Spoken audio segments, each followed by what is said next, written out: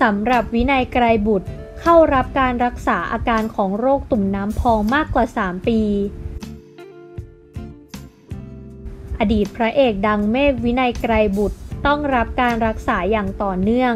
ทำให้หมดเงินไปหลายล้านบาท แต่เจ้าตัวก็ยังคงสู้ไม่ถอย ยังคงทำงานหาอาชีพเสริมทำอย่างต่อเนื่องในช่วงที่กำลังรักษาตัว เขาได้ออกมาไลฟ์สดอัปเดตอาการหลังโรคตุ่มพองกลับมาติดเชื้อรอบที่ 5 ลุกลามเน่าไปทั้งตัว ต้องกลับมาทานยา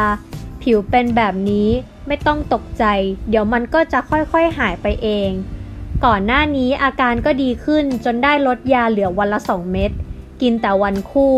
วันขี้พักไม่ต้องกิน ปรากฏว่าร่างกายมันตีกลับ ประมาณ 3 อาทิตย์จากลดยามันระเบิดออกมาอีกครั้ง ตอนนี้ทรมานมาก ล่าสุดทางด้านเมฆวินัยได้ออกมาโพสต์ว่า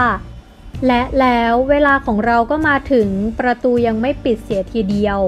รอคอยมานานสาธุ ขอให้เป็นดั่งใจที่หมายแฮชแท็กขอบคุณตัวเองและครอบครัวที่อดทนมาด้วยกัน โพสต์แบบนี้หรือจะมียาและวิธีการรักษาที่หายขาดได้